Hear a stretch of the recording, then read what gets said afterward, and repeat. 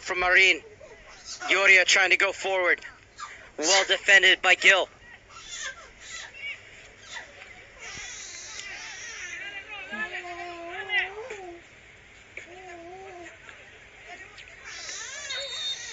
Uh, pressure from Blackman.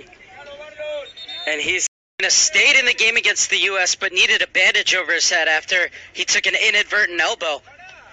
Had blood over his eye. Costa Rican staff did a great job in Panama. A first half in which both teams have had little pockets of dominance. But both teams still searching for their first goal of the tournament on the third and final match day.